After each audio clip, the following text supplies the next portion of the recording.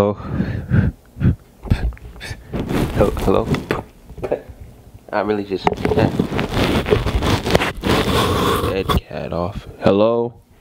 Anybody there? Is this working? Yes, no, maybe. Hello, hello. This should be like ear rape because like yeah. Alright, so now we got the regular team on the mic. We got the regular Hey Leia, calm down. We got the regular thing on the mic right now. Maybe maybe maybe sounds better, maybe not. I don't know. We'll find out. Alright, now we're gonna put it up. We're gonna put it up like so you can't really see it. Yeah, like this is exactly out of frame. And then if we you know we can just turn the pole still out of frame. Alright, so this would be like a scene right here. Alright, okay, let me pull up a line from let's pull up a line from the original Superdog. The movie, not the TV show.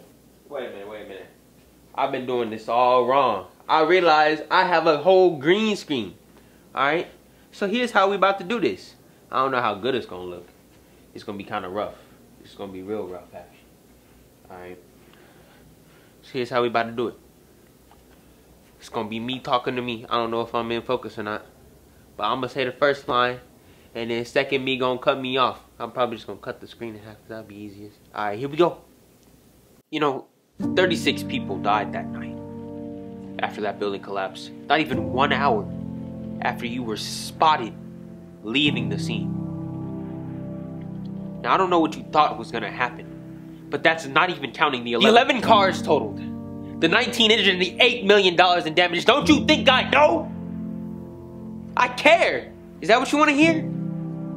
That I regret doing what I did? Well, I don't. How the hell do you think a 13 year old blew up a whole building? I lost my whole life five years ago. I haven't seen my friends or my family or anyone that I love in five years.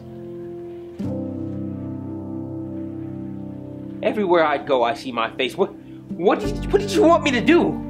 You wanted me to stay in one spot and let y'all hunt me down? It's hard enough as it is out here. Now I know that they told you what my mom said happened. What did happen. My exact words that I told her that night before I left. I know that whatever briefing or whatever the hell you were in, that they told you. But you just dismissed it like the rest of them, huh? So here we are Why don't I kill you? Yeah.